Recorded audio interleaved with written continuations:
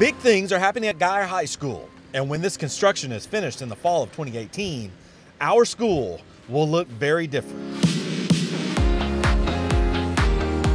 We're adding 12 additional classrooms and two collaborative spaces to the new Eastern Wing for sophomores, juniors, and seniors, as well as some administrative space to support our growth. The new Western Wing will be primarily used by freshmen. There will be 20 new classrooms, 10 additional areas for fine arts, 10 collaborative spaces for students, 8 science classrooms, 6 administrative or student support areas, 3 technology labs, and 2 special education areas. Our campus will also receive new secured entries for visitors and students, as well as additional parking spaces and an updated courtyard for all future Wildcats to enjoy. The construction will be inconvenient for all of us at times, but it's allowed us to keep the Guyer Zone unchanged and will give Wildcats the spaces they need to make the most out of future school years.